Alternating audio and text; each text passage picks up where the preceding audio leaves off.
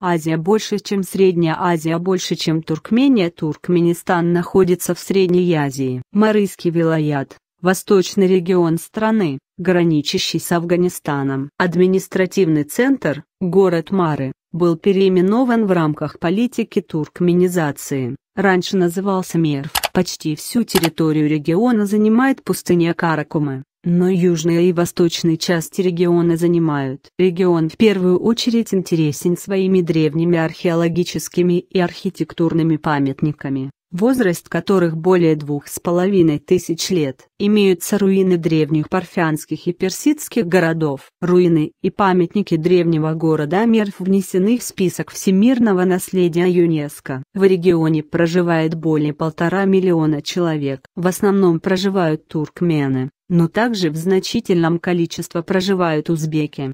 Здравствуйте подписывайся на канал нажми на колокольчик.